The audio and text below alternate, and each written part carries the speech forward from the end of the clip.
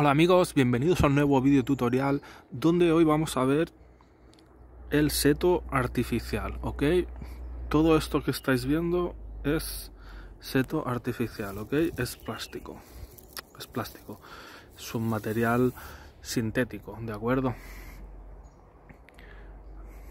Mira, es como podéis ver, aquí lo tenemos atado con un alambre no férrico para que más acerado tirando para un acerado inoxidable para que no se nos eh, oxide, ¿vale? Más estañado y más acerado para que no se nos oxide, ¿de acuerdo? Pues lo hemos ido ligando, como veis aquí, aquí hay otras ligadas. Ok, esto lo podéis hacer pues por el lado que no se vea, ¿vale? Y como veis, pues se han hecho varias, ¿de acuerdo? En, en varias alturas de ligadas de estas. Aquí tenemos también otra, aquí otra, lo vamos ahí tenemos otra.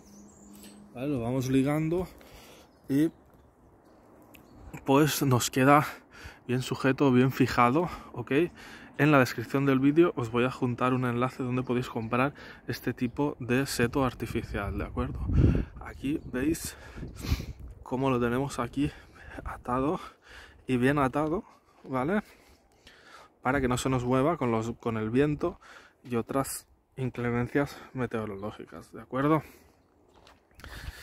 El viento pues nos transpira entre lo que serían pues las ramas de este seto sintético, nos lo atraviesa, pero es mejor pues hacer varias ligadas como habéis visto para asegurar que ni el viento ni otro tipo de cosas como podría ser el granizo o algún tipo de lluvia torrencial con viento, pues nos lo tire o nos lo deforme.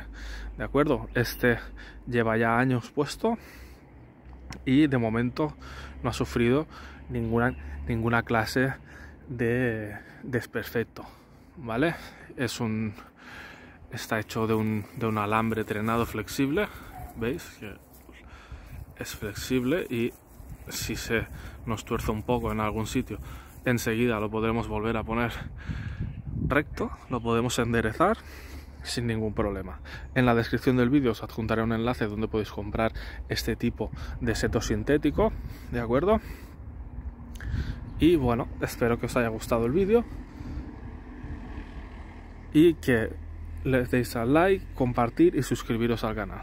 Gracias amigos por ver el vídeo, si os ha gustado darle al like suscribiros y no olvidéis en compartir. Y recordad que en la descripción del vídeo tenéis un enlace donde podéis comprar este tipo de setos, ok, en varias medidas, en varios tipos de hoja, varios colores, más claro, más oscuro, más largo, más ancho, ¿de acuerdo? Hasta el próximo vídeo, gracias.